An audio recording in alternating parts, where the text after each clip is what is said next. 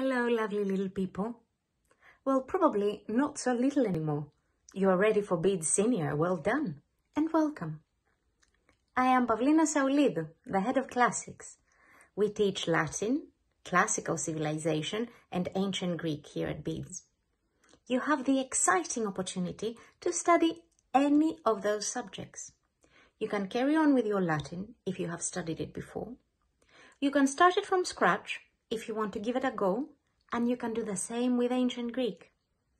Your most exciting opportunity, though, is classical civilization. What's that? You will ask. That's a very good question. It's a subject about ancient cultures, ancient Greek and ancient Roman. We will study stories. Do you like stories?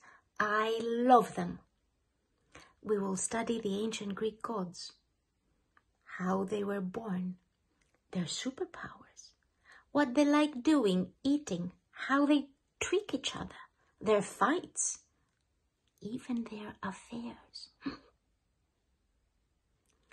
we will study parts of the Odyssey and the Iliad as well, which are the oldest stories in European history of literature. I am sure you will like it.